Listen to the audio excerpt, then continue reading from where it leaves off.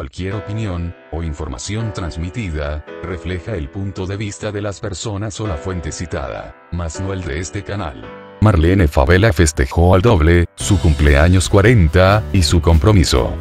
Marlene Favela ha cumplido 40 años y lo festejó con su novio George Celi, pero aprovecharon para celebrar su próxima boda. Por lo cual fue un festejo al doble, pues ahora que ha entrado en una edad más madura y segura de sí, también dará el siguiente paso al altar.